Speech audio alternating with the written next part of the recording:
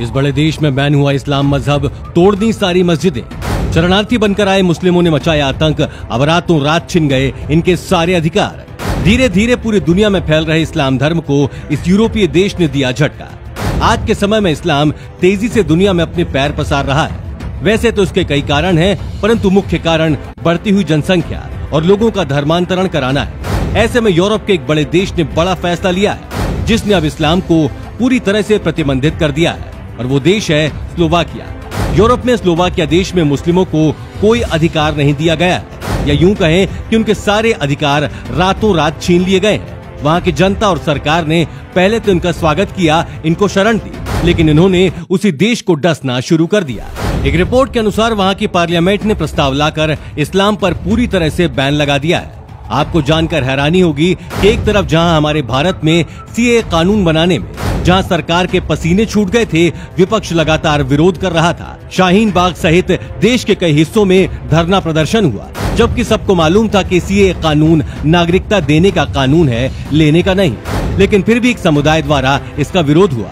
वहीं दूसरी तरफ़ स्लोवाकिया में सत्ता में मौजूद स्लोवाक सोशल डेमोक्रेसी पार्टी इस्लाम पर बैन लगाने के लिए कानून लेकर आई तो विपक्ष पार्टी ने भी पूर्ण सहयोग देते हुए इसे पूर्ण बहुमत से पारित करवाया। इसके बाद स्लोवाकिया में इस्लाम पर पूरी तरह से प्रतिबंध लग गया। दोस्तों, कहने का ये अर्थ है कि स्लोवाकिया में अब कोई भी नागरिक खुद को एक मुसलमान के तौर पर रजिस्टर नहीं करा सकता है। यही नहीं, स्लोवाकिया में धर्म की लिस्ट में अब इस्लाम का नाम भी नहीं है। स्लोवाकिया में ये सब इसलिए हुआ क्योंकि वहाँ की सरकार का ये मानना था कि इस्लामिक कट्टरपंथ व चरमपंथ को बढ़ावा दे रहा है हमारे देश में। इस्लाम वो शिक्षा है जो मदरसों और मस्जिदों के ज़रिए लोगों के बीच पहुंचकर समाज में नफरत पैदा करती है। प्राप्त जानकारी के अनुसार, वर्ष 2010 में यहाँ मुस्लिमों की आबादी 5000 के आसपास थी, जो देश की कुल आबादी का शून्य दशमलव एक फ़ीसदी था। सत्रहवीं सदी के आसपास आर्य तुर्गवा ओएगेर मुस्लिम यहाँ फैल गए थे।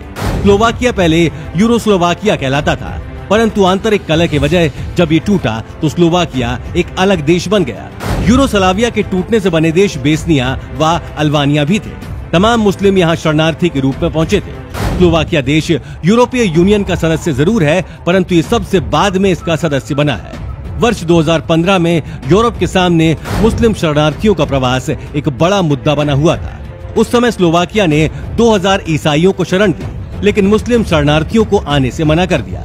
इस पर स्पष्टीकरण देते हुए स्लोवाकिया के विदेश मंत्रालय ने कहा था कि उनके यहाँ मुस्लिमों के धार्मिक इबादत संबंधी कोई जगह नहीं है। इसलिए मुस्लिमों को शरण देने से उनके देश में कई समस्याएँ पैदा हो सकती हैं। हालाँकि यूरोपीय यूनियन ने स्लोवाकिया के इस फैसले की आलोचना भी की थी। परंतु इसके बाद स्लोवाकिया ने यह कानून पास करके इस्लाम को हमेशा के लिए अपने देश में बैन कर दिया। यहाँ ये भी बताते चले कि स्लोवाकिया में नियम और कानून सख्ती से पालन किए जाते हैं।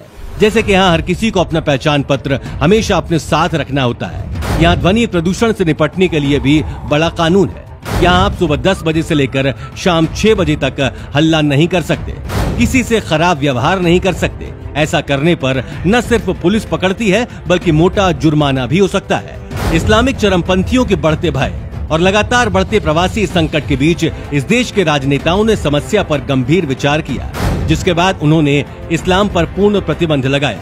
यहाँ के मुसलमान या तो किराए के घरों में रहते हैं या फिर अस्थायी प्रार्थना घरों। में कुल मिलाकर ये कहा जा सकता है कि स्लोवाकिया एकमात्र वो देश है जहाँ मुसलमानों को कोई भी अधिकार प्राप्त नहीं है। हालाँकि हिंदू धर्म को मानने वालों को यहाँ कुछ विशेष अधिकार प्राप्त है। आपकी स्लोवाकिया देश के इस नए कानून पर क्या राय है, हमें कमेंट में लिखकर बताएँ। साथ ही इस वीडियो को शेयर भी ज़रूर करें।